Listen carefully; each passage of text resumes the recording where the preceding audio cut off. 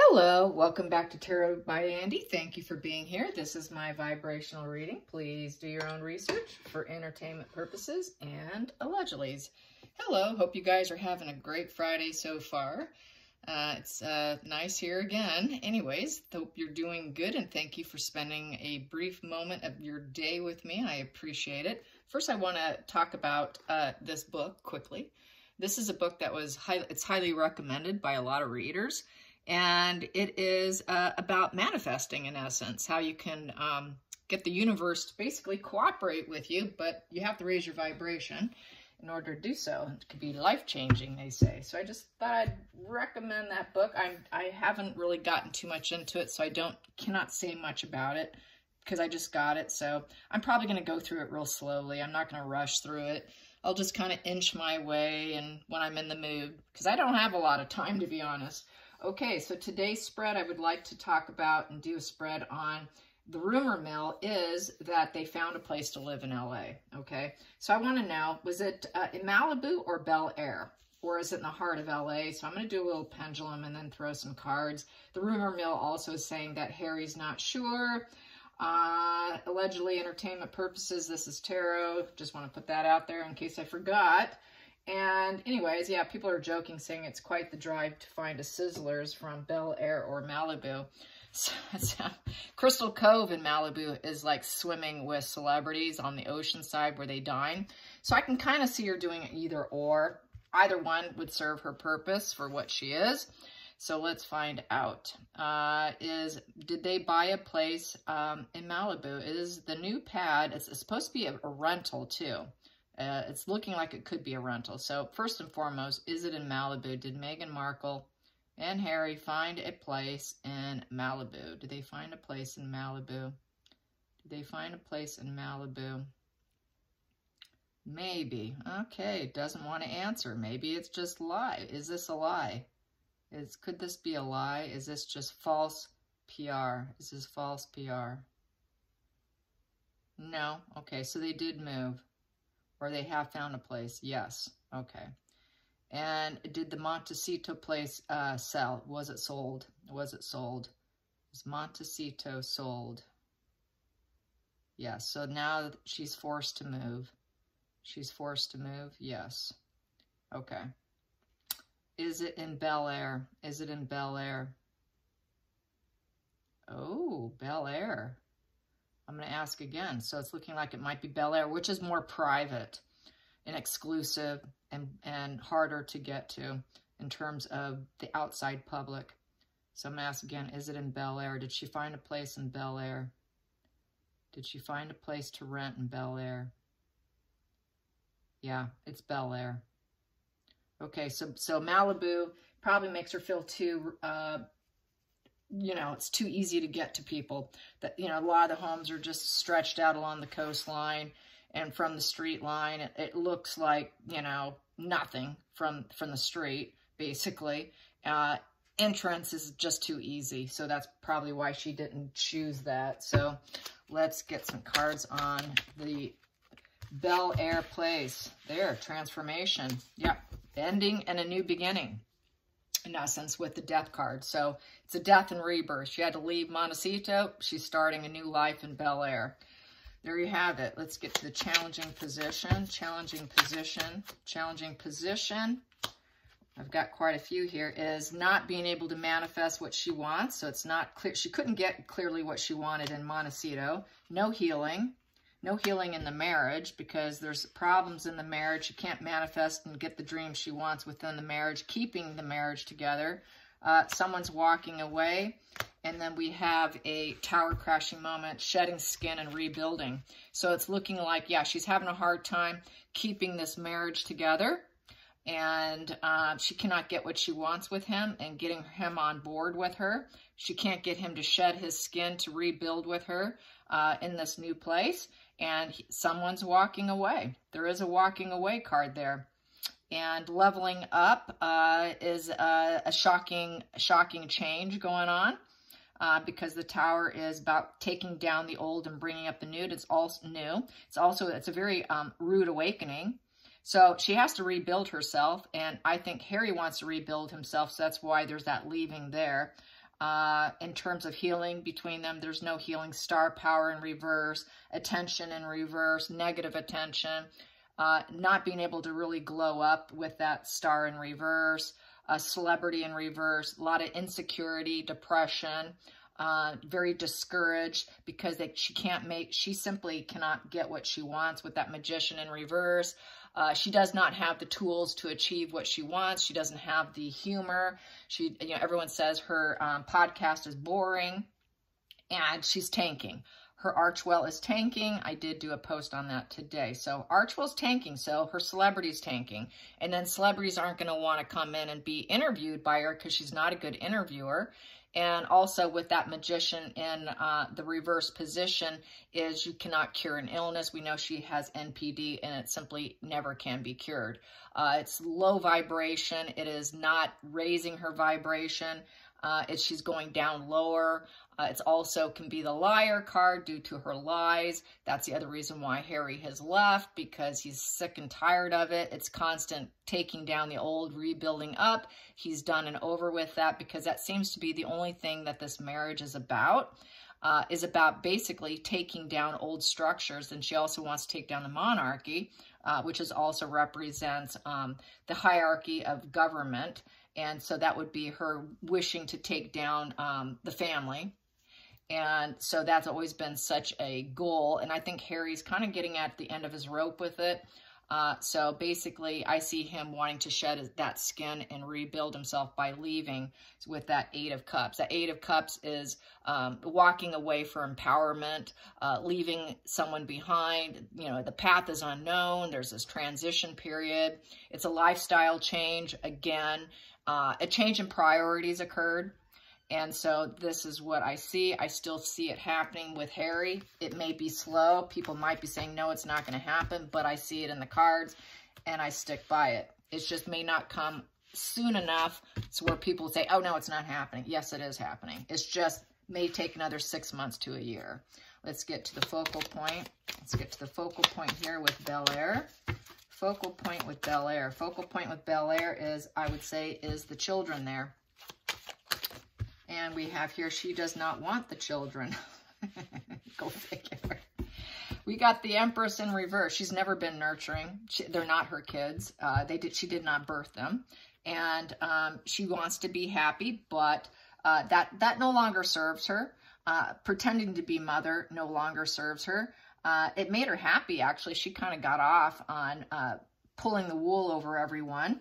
Uh, she enjoyed it because she's dark uh, yeah, th this kind of thing is her thing. She enjoys it. The Empress in reverse is someone who um, basically ignores kids. She doesn't like them and she's uncaring. She's neglectful. She knows it was the wrong path to even pretend that they were hers. Doesn't serve her anymore. Why? Because it may come out. It's it's leaking. People aren't afraid of her. She knows it's it's weighing heavy on her and it's affecting her self-esteem. She has low self-esteem about it, about even trying to act like she's happy about it uh, that she enjoys her children when she just frankly ignores them and can't wait to hand them over or pretend that she is endearing of them. She's not. That just doesn't serve her anymore. She doesn't even want to pretend. Uh, so yes, that's who she is. Can't even have dogs around her. That's what they say. Yes. Yes, so hmm, let's get to the hidden core, core with Bel Air. Moving to Bel Air, what's going to happen with the core moving to Bel Air? The core moving to Bel Air. Here we go. The core with Bel Air. She wants Harry to be with her. Yep, she wants Harry to be with her, and she would also like to be in probably in control of him, but there's control issues there. She wants Harry because he is the dad, and so that is the problem, and the children is the focal point. She doesn't want to be alone. She wants to cling on to him longer, even though she's not nurturing but she gets off on it. She, she gets pleasure on being kind of that abusive type, that ignoring abusive type. Let's get to the uh, feeling, the future, the future with Bel Air. How's that going to work for her? That's going to work for her. We got the Nine of Wands in reverse with the um, with the Eight of Swords upright and the Knight of Wands in reverse. So with the Nine of Wands in reverse, that is lowered boundaries.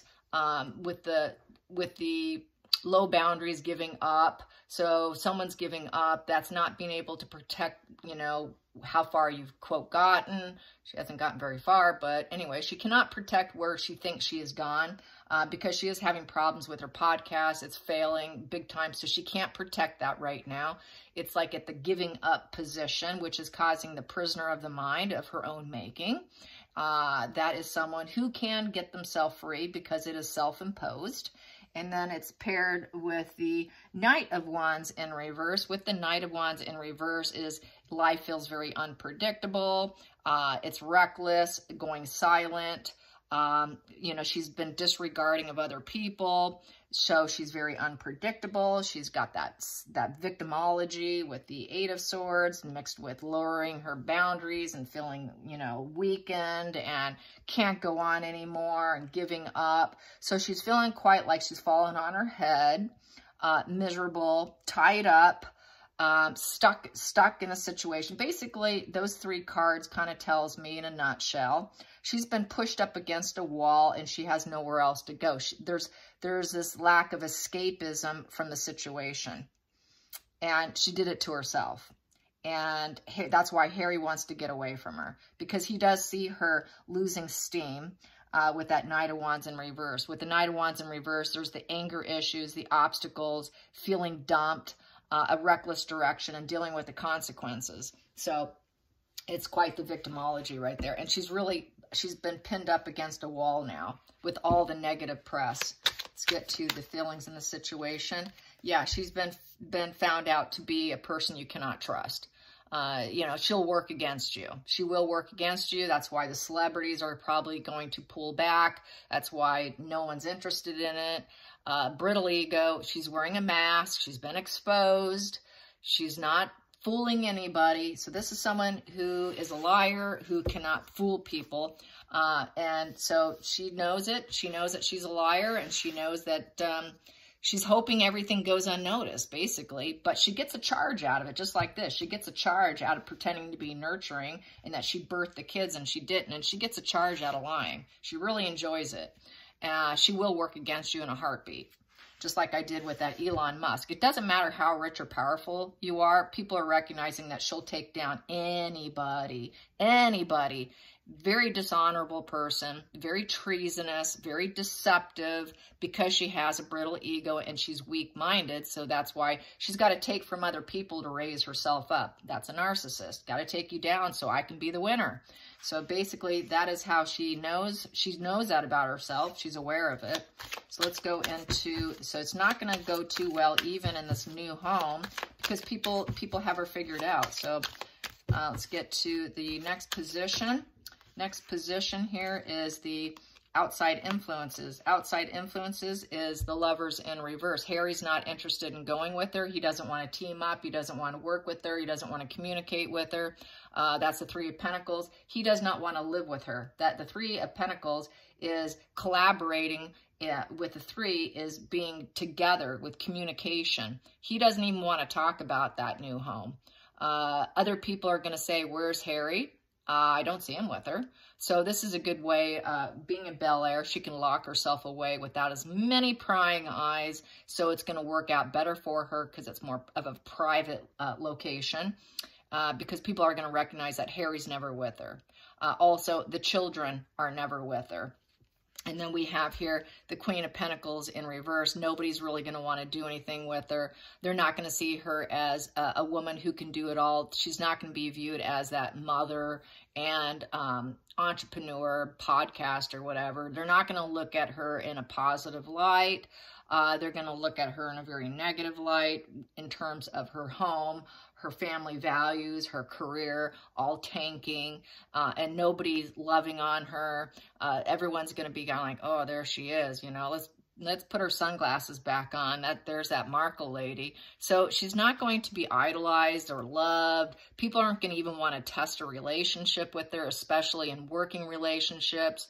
Um, the Three of Pentacles is all about mastery and skill. They're going to think she's not skilled enough. She thinks she is, but she's not because she's not making it. She's clearly not making it, but she still thinks she is. And let's just kind of stay away from her.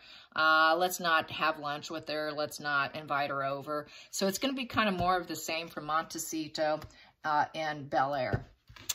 It's not going to change. It, just because you change your address, you're still there. All your problems go with you. And that's what this is. Just because you move, your problems go with you.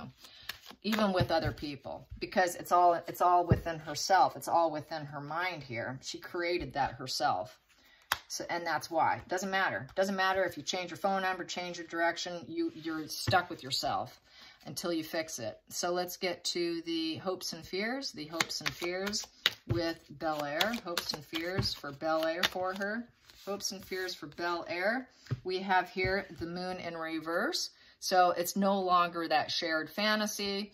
Uh, the issues are known now all the truths are coming out. Um, you know, the right here, she's going to be hoping that Harry or somebody comes back to her, uh, wanting someone to come back to her. Uh, the illness in reverse, hoping maybe she can heal a little bit. Uh, the, the path before was false. Now she's going to be more self-aware uh, about herself. Uh, the mother card in reverse.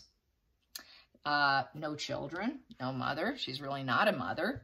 So this is going this is going to start to come out. And that's why this is here, about being a liar. So yeah, it's a good hiding spot, being in Bel Air. I do think it's behind locked gates. So yeah, she needs a gated community for sure. All right, let's get to the final outcome. The final outcome for Bel Air, living in LA, the life of LA, finding this new place.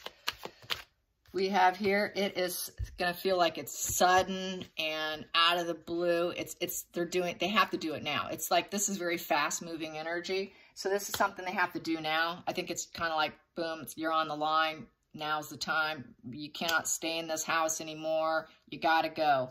So it's reaching a breaking point. Everything's reaching a breaking point for her. Uh, there's a lot of fighting energy with that.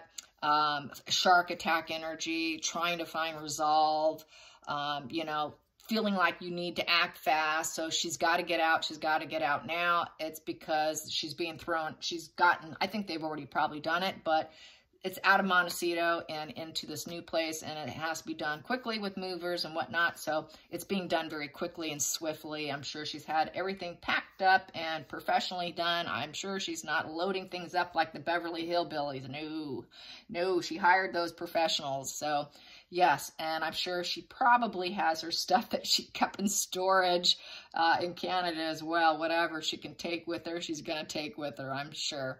So, yeah, you know, uh, is definitely still fighting energy. So she is still going to be pissing and moaning and fighting and fighting for her celebrity, even though it's tanking, fighting to keep her podcast going, even though it's tanking, fighting to make friends, still people not interested, fighting to try and get Harry to um, do it with her. He doesn't want to.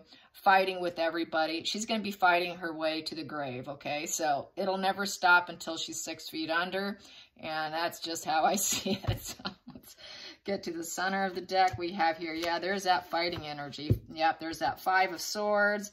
She's going to fight, fight, fight. Doesn't matter who she's with because she cannot get people to love her. She cannot get the love and peace that she wants. So when she cannot feel the love of others, she gets combative. She gets very combative and she will take your sword, try and fight unfairly in order to win with the Five of Swords. It's a repeated psychological pattern of failure, of not getting the love she feels she deserves, nor the peace. It's also the baby card in reverse, not her children. Healing repressed emotions, attempting to, but not capable, not gratified. No love offers, empty inside, not fulfilled not not feeling abundant, um, not feeling pleasure. So the pleasure card is in reverse.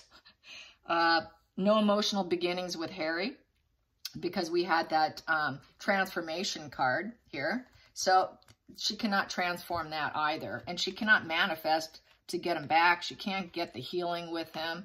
Uh, she can't promise some things and, and, and tell him, hey, we can do this and I can make it happen. No, you can't.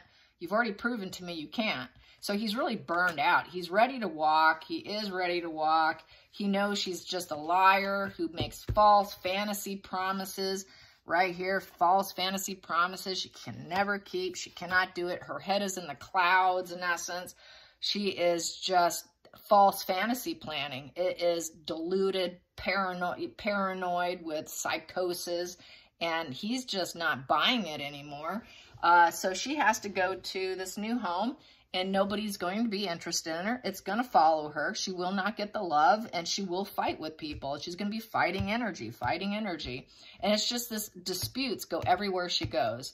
And she needs to swallow her pride that not everybody's going to love her. Not everybody's going to see her as a powerful person either because it's between there. And she's going to keep fighting with the royal family too. She's going to also uh, double energies here. She's going to keep fighting with Charles. She's going to keep fighting with Charles, hands down. That is not going to, she's not going to let that go. She'll never let that go. She's not going to go silent because they don't love her. And that's another reason why um, she has this this here in reverse the outside sources. They are not going to let her back in, and she knows it, which means it's going to affect her financial luxury feeling of, of abundance.